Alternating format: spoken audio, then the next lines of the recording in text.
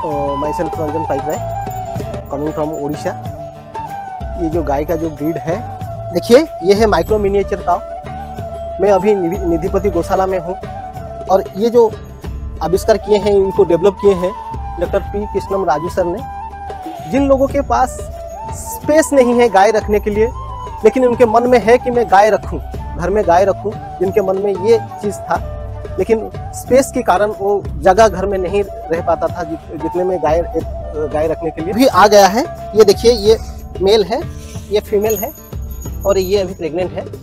इसको आराम से आप घर में रख सकते हैं। इनके लिए कोई स्पेस नहीं चाहिए।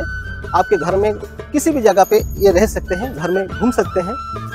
और आपके पास अगर ये काव आ गया तो और सबसे बड़ा चीज़ है कि इसका जो मिल्क है, वो थोड़ा जनरल मिल्क से थोड़ा अच्छा मिल्क है। ये हमारा जो डॉक्टर कृष्णम राजू सर के एक बेहतरीन चीज़ बनाए हैं उन्होंने, जिसका थोड़ा प्रसार होना चाहिए और लोग भी इसको रखना चाहिए घर में, क्योंकि ये ब्रीड रखने से उनको थोड़ा सुकून आ जाएगा।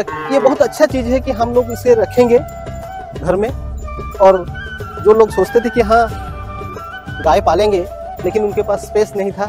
अभी ये माइक्रो माइक्रो में आ गया है।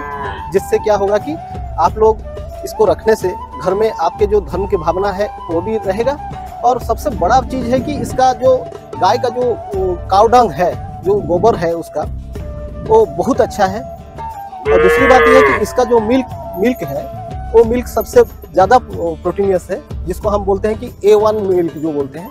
थोड़ा सा निकलेगा इसमें से हम थोड़ा सा दूध निकालेंगे, ये ये नहीं कि पाँच दस लीटर निकालेंगे, ऐसे नहीं थोड़ा सा मिल्क आएगा। जो कि बहुत अच्छा है। शरीर के लिए बहुत अच्छा है। तो देखिए, और धीरे धीरे हम लोग जो कुत्ते की तरफ़ जा रहे थे, अभी हम गाय की तरफ़ आएँगे, तभी तो कुछ कर पाएँगे।